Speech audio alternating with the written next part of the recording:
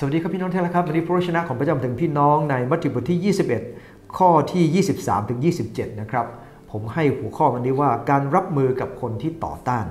ในพระคัมภีร์ในข้อ 23 บอกว่า เมื่อพระองค์เสด็จเข้าไปในบริเวณพระวิหาร ในเวลาที่ทรงสั่งสอนอยู่ พวกมหาปรหิตและพวกผู้ใหญ่ของประชาชนมาหาพระองค์ทูลถามว่า ท่านมีสิทธิ์อันใดจึงได้ทำเช่นนี้ใครให้สิทธิ์แก่ท่าน พระเยซูตรัสตอบเขาว่า เราถามท่านทั้งหลายสักข้อหนึ่งเหมือนกัน ถ้าท่านตอบได้ เราจะบอกท่านว่าเรากระทำการนี้ด้วยสิทธิ์อันใด คือปฏิสมาของยอนนั้นมาจากไหน มาจากสวรรค์หรือจากมนุษย์ เขาปรึกษากันว่า ถ้าเราว่ามาจากสวรรค์ ท่านจะถามเราว่าเหตุไหนท่านไม่เชื่อยอนเล่า แต่ถ้าท่านเราถามว่ามาจากมนุษย์ก็กลัวประชาชน เพราะประชาชนถือว่ายอนเป็นผู้เผยพระชนะ เขาจึงทูลตอบพระเยซูว่า พวกข้าพเจ้าไม่ทราบ พระเยซูจึงตรัสกับเขาว่า เรา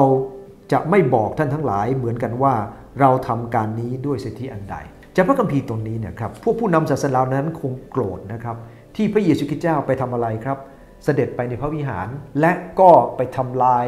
ไอแผงของพวกเขาเนี่ยนะครับที่รับแลกเงินโต๊ะที่ใช้ขายของนะครับขายสัตว์ต่างๆ คนเหล่านั้นคงจะโกรธพระเยซูคริสต์เจ้ามากนะเพราะพระเยซูคริสต์เจ้าขับไล่พ่อค้าแล้วก็คว่ำโต๊ะแลกเงิน ดังนั้นเองพวกเขาก็เลยต้องตั้งคำถามที่เป็นคำถามอำพลาง หรือเป็นหลุมพรางที่จะหาเรื่องพระเยซูคริสต์คงจำได้ว่าเขาเคยจัดการยอนมาแล้วครั้งหนึ่ง แต่นี้เขาต้องการจัดการพระเยซูด้วยเช่นเดียวกัน แต่เราขอบคุณพระเจ้าครับ พระคัมภีร์ตัวนี้ทำให้เราเห็นว่าพระเยซูเป็นแบบอย่างในการรับมือกับคนที่ต่อต้านยังไง อันที่หนึ่งครับ พระองค์มั่นใจในการทำพันธกิจ ในข้อ 23 24 คนเหล่านั้นมาหาเรื่องพระเยซูคริสต์เจ้าว่าท่านใช้สิทธิอันใด พระองค์ก็ทรงตอบไปตามตรงเลยครับ ด้วยความมั่นใจว่านี่เป็นสิทธิอำนาจของพระองค์ ที่พระองค์ได้ทรงกระทำนะครับ แล้วคนเหล่านั้นก็ถามว่าพระองค์ใช้สิทธิอำนาจใด แทนที่พระเยซูคริสต์เจ้าจะสะดุดแล้วก็รู้สึกว่าเฮ้ยเขามาหาเรื่องเรา พระเยซูก็ตัดตอบไปว่า เราขอถามท่านข้อหนึ่ง แทนที่เขาจะถามพระเยซูอย่างเดียว พระเยซูถามกลับเลยครับ ท่านตอบเราให้ได้ แล้วเราจะบอกท่านว่าเราใช้สิทธิไหนในการที่ทำการนี้ พระเยซูคริสต์เจ้าลุกกลับทันทีครับเพราะเพราะพระองค์มั่นใจวันนี้เหมือนกันครับ เราทำอะไรก็ตามเราต้องมีความมั่นใจ โดยเฉพาะยิ่งมั่นใจในพระเจ้า สิ่งที่สองครับมีจิตใจที่ประกอบด้วยปัญญา พระองค์ทรงถามพวกเขากลับไปบอกว่า ลองตอบคำถามซิว่ายอน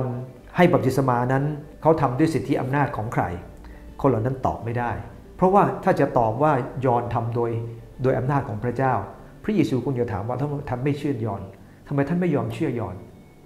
และถ้าพระองค์ทรงตอบว่า ถ้าเขาตอบว่ามาจากมนุษย์ ก็กลัวคน เพราะว่าคนเนี่ยนับถือยอนมาก ขอบคุณพระเจ้าครับ พระเยซูคริสต์เจ้าพระองค์ใช้ปัญญา ดังนั้นเองขอดุลใจเราทั้งหลายว่า ในการรับใช้พระเจ้า ในการดำเนินชีวิต ก็ต้องมีคนต่อต้านเป็นเรื่องปกติ แต่เมื่อมีคนต่อต้านทำให้เราเกิดความไม่มั่นใจ อย่ารู้สึกหมดกำลังใจไปครับ ขอให้มั่นใจในการทำบรรกิจต่อไป มีจิตใจที่ประกอบด้วยปัญญาในการแก้ปัญหาที่ละปลอกไป นะครับเพราะเราไม่สามารถจะให้ทุกคนเห็นด้วยกับเราทุกเรื่องทุกอย่าง แต่เราสามารถจะทำไปด้วยปัญญาจากพระเจ้า ขอพระเจ้าเมตตาเรา และเปาโลได้สอนบอกว่า ขอให้เรามีสติปัญญา มีความเข้าใจในฝ่ายวิญญาณมากขึ้น มีสัพพปัญญาจากพระเจ้ามากขึ้น ในโคสีบทที่1ข้อที่ 9 ท่านจะเปาโลขอแบบนั้น และเช่นเดียวกัน ถ้าเราเองขอต่อพระเจ้า เราก็สามารถจะมีปัญญา เพื่อจะรับมือคนที่ต่อต้านได้นะครับสประการครับ 1. พระองค์มั่นใจในการทำพันธกิจ อันที่สองพระองค์มีจิตที่ประกอบด้วยปัญญา